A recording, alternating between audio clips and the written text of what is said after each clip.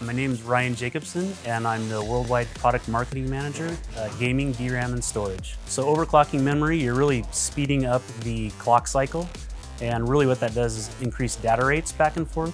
We're gonna super cool it, increase the transfer rates, increase the buses, and really see what we can squeeze out of the DRAM. So you're really getting a great speed boost in any kind of application. It's just overall better performance.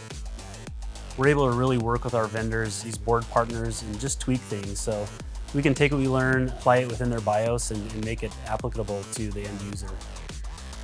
The improvements for end users goes back to that XMP profile you may use in gaming uh, we're able to streamline everything between the board.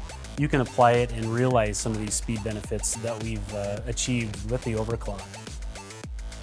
We've seen some studies where frame rate's a big deal, uh, 144 hertz on a monitor is a big deal. It all plays a role into making that experience better. Nice smooth gameplay and you know the, the pros are up there uh, in 144 hertz plus range. It does make a difference faster rendering, you know, you're crunching numbers, polygon count, and all that, all that stuff. So it, it's all ap applicable. You're speeding up the entire system anytime you're overclocking. Don't be fearful of building your own PC. There's a lot of good tutorials out there, a lot of good product out there. If you're looking to get into a gaming PC or a really nice rendering PC, you know, give it a whirl. Try to build it yourself.